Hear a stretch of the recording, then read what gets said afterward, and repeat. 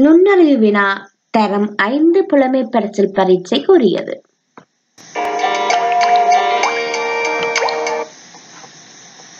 வினா ஒன்பது.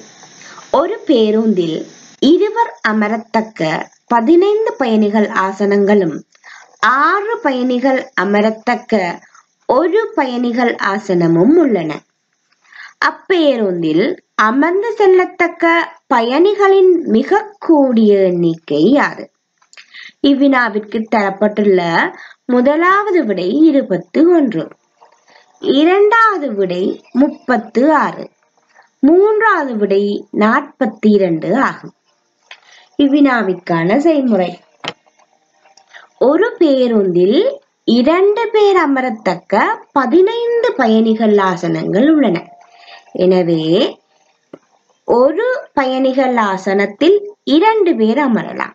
அவ்வாறான பதினைந்து பயணிகள் ஆசனங்களில் இருவர் இருவராக எத்தனை பேர் அமரலாம் என்பதை கண்டுபிடிப்பதற்காக பதினைந்தை இரண்டால் பெருக்க வேண்டும். அதற்கான விடை முப்பது பயணிகள் ஆகும். அடுத்ததாக ஆறு பயணிகள் அமரத்தக்க ஒரு பயணிகள் ஆசனம் உள்ளது. எனவே ஆறு பேர் இருக்கக்கூடியதான ஒரே ஒரு பயணிகள் ஆசனம் உள்ளது.